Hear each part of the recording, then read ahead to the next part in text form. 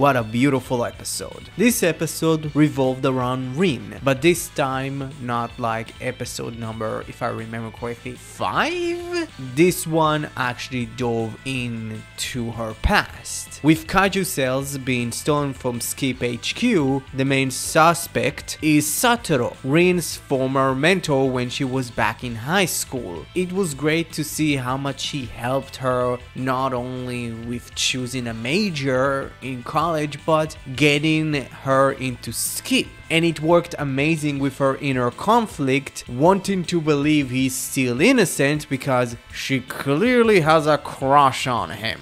Oh boy, like this entire episode, like you see her slowly and slowly realize that, like, ah, Satoru is not the same person as I remember him to really be because, like, I kind of saw him in still those rose tinted glasses because you can clearly see she even now still has a crush on him. Where you see her expression actually changes when he said oh i'm a new dad. Look at my baby. I've been a dad for one year. And she kind of like probably when he said i'm a new dad she pretty much kind of disconnected from the conversation. And she needed to ask again. It's like how old is your kid He's like, bro, I, I, said like, um, this is my first year of being a dad. It's like, ah. Or maybe she maybe thought he maybe adopted something. I don't know. Like that could have changed. Maybe that could have been a thing too. Also, and I love the little detail of like when Rin was younger and he was talking and Satoru was on the phone with his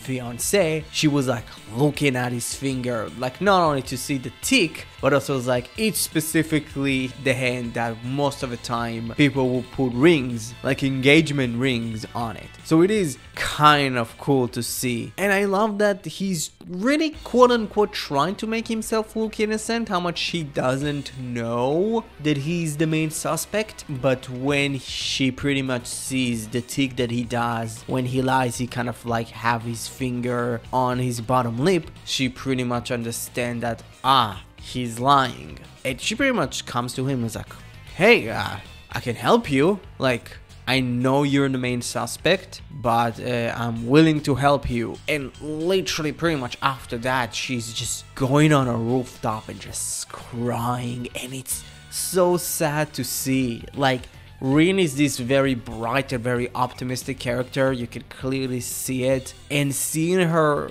really sad is sad to see. I don't know what to say. It's just it's just horrible. I am sad for her.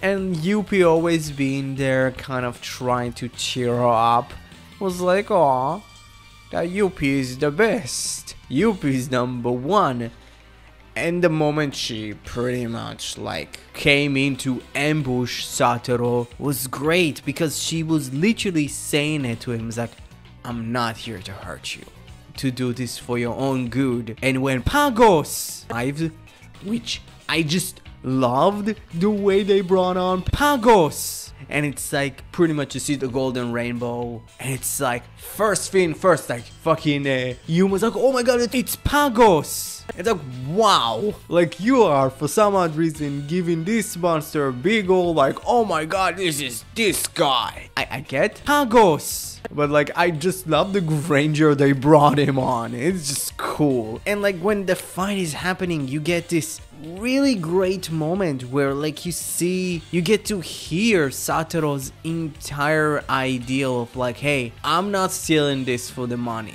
I'm making a small sacrifice for this future because here's the thing. Hey with all the powers that the monsters have yeah like we can make the future better. But like most of the time they don't get it because of Ultraman because he literally destroys them. So it is really interesting that like he does do this very illegal stuff, but he does it for the right reason, kind of. And like, I loved the way that the episode ended with, with Arc beating both Neronga and uh, Pagos. We get pretty much the final scene between Satoru and Rin and pretty much like Satoru lies to her to pretty much distance himself from her. Pretty much understanding that maybe him being in her life was a bad idea. So he literally tells her, like, hey, like, I don't really remember our time together. How much, again, kind of creepy. She was slightly underage in that time and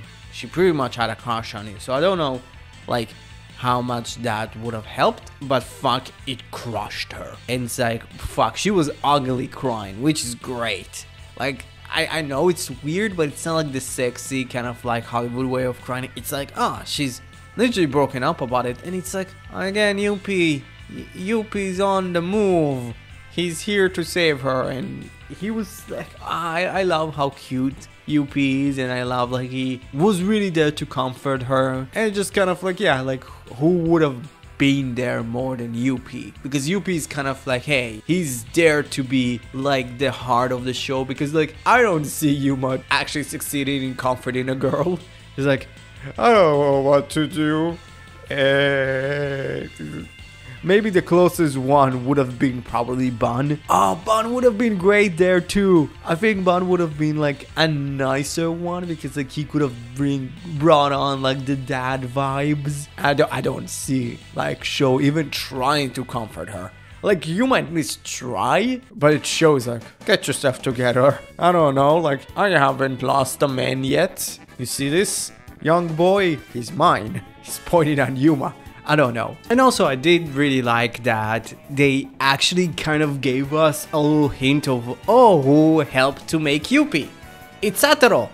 I just found that kind of cool. But uh, yeah, like, I just love this episode. It was grade A in my opinion. Like, it was pretty much the entire episode was a story about a young girl falling in love with an older man and she pretty much meets with him once again and when they're both older and pretty much her reality of who this man was pretty much was crushed in front of her eyes and she's mentally still not okay about it. Like fuck like you see how she reacts to Satoru pretty much fall from grace. And you can see how much she pretty much maybe saved herself from a very toxic relationship. And like the story of the episode was amazing. The story of the episode was very grown up for a show that is a lot of people may think that oh my god it's for kids. It's like no, like, hey, first of all, Kids Show can talk about this type of stuff and make it interesting, but also it's like, yeah, that's Ultraman. Ultraman would talk about this type of shit. Like, fucking Ultraman is back to his high concept era, and I'm fucking great about it. But, oh, fuck, like, visually, this episode was amazing. Uh, it's a new director, if I'm actually correct. I think like um, he's not new to Tokusatsu from what I understand, but he is very new to Ultraman. So, um, ah, what did he direct? He directed a Final Fantasy thing from what I'm seeing, uh, but yeah, like this episode visually was fucking great. This episode, like uh, story wise, was fucking great. Yeah, uh, episode number 9 gets a fucking S plus. I don't give a shit. I think it's probably the best episode that Arc had ever. It's now, right now, at the top of the list. So, uh, yeah, what you thought about Arc episode number 9? Comment below, let me know. Thank you very much for watching the video. Please, if you didn't watch my Gavv episode 1 review, please do. Also, help your subscribe button to finally achieve his gacha of becoming a subscribed button. Don't forget, you're the only one that can prevent forest fires, and have a great rest of your day. Mm, bye bye!